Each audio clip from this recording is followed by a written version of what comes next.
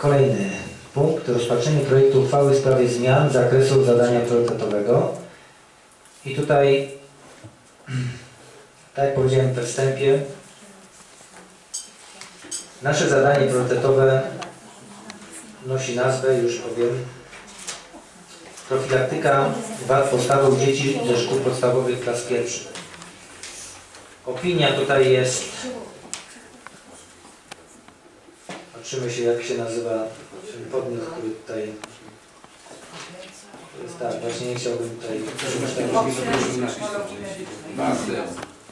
Jest jest? Nie ma lepszej Jest. Tak.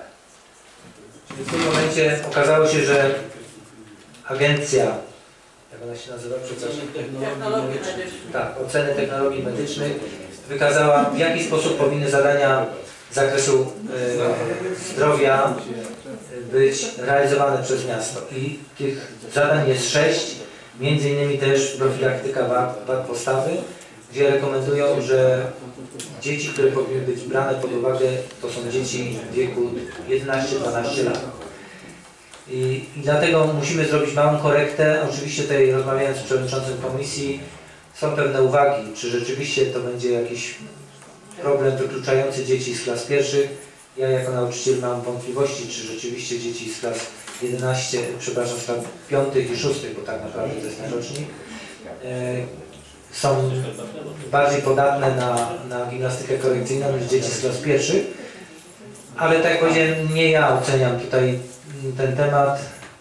Wydaje mi się, że słusznie jest tutaj do tego tematu podejść z poprawką.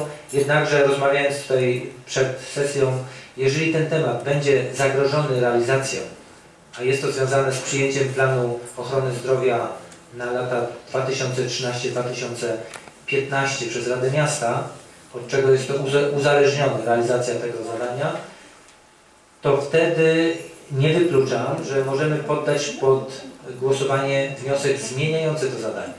Jeżeli to nie wejdzie teraz w jakiś sposób przed końcem roku szkolnego, to później w drugim, tak naprawdę września, czyli w trzecim kwartale, zanim szkoła rozpocznie swoją działalność, to ten projekt powinien być już zrealizowany, czyli do 11 do końca listopada. Czyli jest tu zagrożenie jakby złego wydatkowania tych środków, które tak naprawdę można wydatkować, ale niekoniecznie efektywnie. Będziemy musieli pilnować tematu i podejmować decyzje w miarę szybko, sprawdzając, czy jesteśmy w stanie y, to zadanie zrealizować rzetelnie.